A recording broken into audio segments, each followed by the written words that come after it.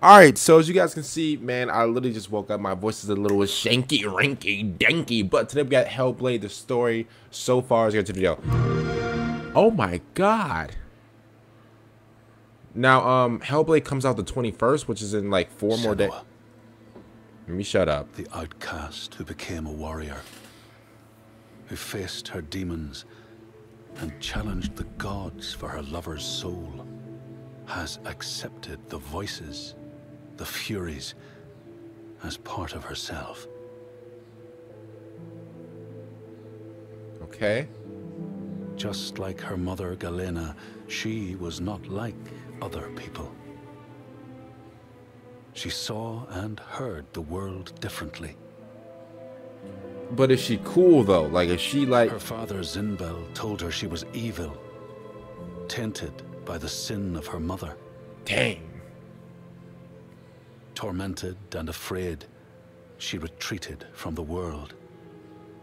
When she ran away? Until love broke through like the rays of a new dawn. Uh-oh. In Dillion's acceptance, she could live again. He gave light to her mind and freed a warrior from her body. Okay. But the voice of her father stayed with her. Uh-oh. Reminding her of her curse. And when the plague came to her land, the people blamed Senua. Tough. She took her darkness with her, banishing herself to the wilds. So she was not there when the Northmen massacred her people and sacrificed Dillion to the god of hell. Senua's torment was so deep that the world around her fell away. She just she took the head of her beloved, the vessel of his soul, and vowed to go to hell herself to save him. She took his head. mist-shrouded horrors, she fought to find the secret path that would lead her to the very gates of hell. Oh, so okay, so she just went to hell by herself. But the okay. Way was marked by fire and illusion. Senua had to fight the gods that guarded these paths and stave off the rot which threatened to consume her mind and end her life. I mean, she is in hell, so like, I mean, there's Only gonna, conquest could open the gates. there's gonna be like a lot of like tricks Only and trickery. blood would bring her face to face with Hela. Face to face with defeat.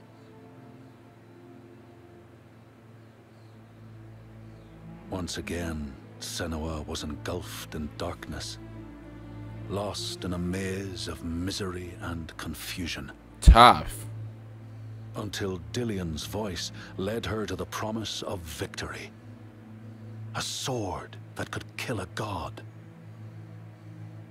To win the sword, Senua would drown in her darkest memories, pulling at the shards lodged in flesh, mind, and soul. She pressed deeper into the underworld, resisting its grasping hands and deafening cries. Until she found her prize before the guardian of Hell's gates. Senua released her rage, a fury that could not be stopped. Wait. Not by savage jaws. Are we gonna be fighting demons in this game? Warriors. Uh-oh. By the pull of death Uh-oh. itself. I see all fire. In defeat and desperation, Senua begged for her beloved's release. But a sacrifice must be made, and burdens cast away. Senua's fate was never in the hands of the gods, but in her own. So what did she do? Only she could choose, out of love, to live, to go on, and to take us with her. What do you mean take us? What do you mean take us with her? Oh, I'm not going to hell. Uh-uh, not me. I don't know. No, no, no, no, no, no, no, no, no. Listen, first of all, Play it day one with. all right, now listen. We're gonna go back real quick. First of all, if you guys don't know, listen, because uh, I'm gonna be real with you. I haven't really been caught up on like the story or nothing like that.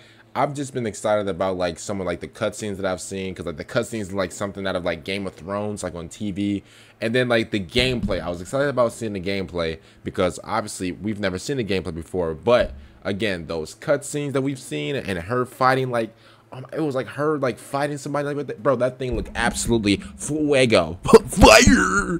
But I'm gonna be honest with you though. Um, I'm actually kind of curious because let's be honest, bro. We're gonna be fighting some type of uh evil demon dementity. Uh, I don't even know if that's a word, but listen about this story about you know. So basically, um, her dad was like, "Hey, um, just so you know, like even though me and your mother has something, you know, even though me and your mother like created you, whatever."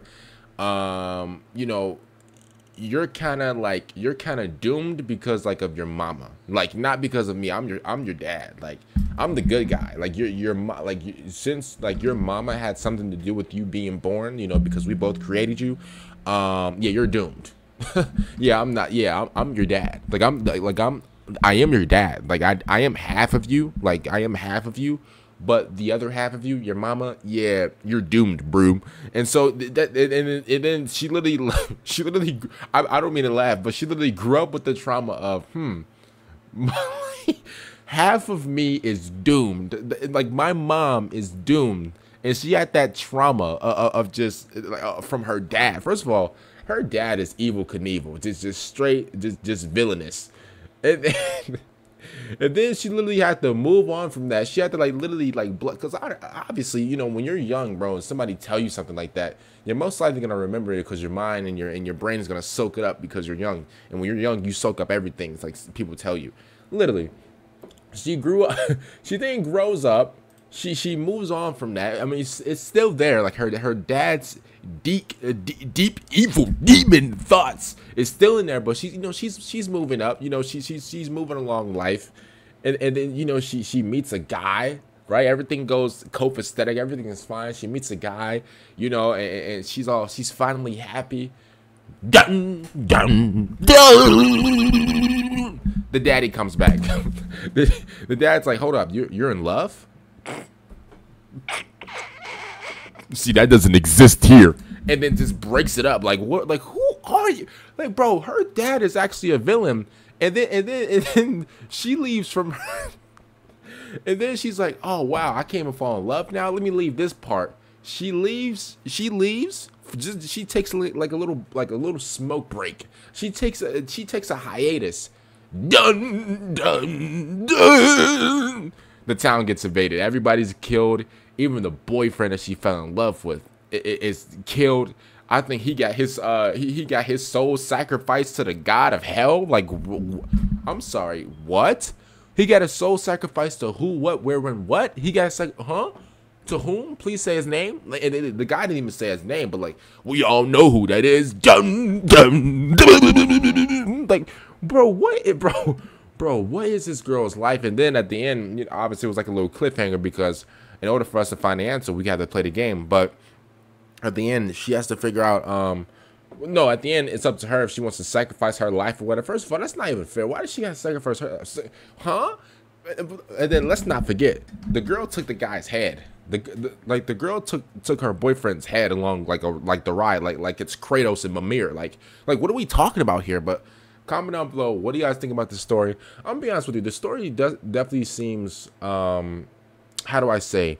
It seems like something out of like a Game of Thrones type of ish, but also it seems like very it, it seems very depressing and evil that she went through all this. she went through all bro, she just she just had back to back to back to back L's like the Cleveland Browns. Like but then you know she took a W with with the whole boyfriend thing. You know, and then then it, it turned to another L, an L, an L. So at the end of the day, listen, we're gonna see uh, about the story because I'm gonna be honest with you the way this guy told the story, it seemed like you know she had to like sacrifice herself, you know, at the end of the uh, at the end of like the story or whatever. But we'll see. we'll definitely see, man. I'm I'm really excited to see like the cutscenes. Um, you guys know, man, I'm a big like cutscene, you know, like graphics type of guy. I understand that. I know graphics isn't everything, but um, definitely excited to see the gameplay and cutscenes. Comment down below. What do you guys think about the game? Comes out the 21st, I believe. Right now it is the 17th, so we got about four more days. And um, see you guys later. Pick some out and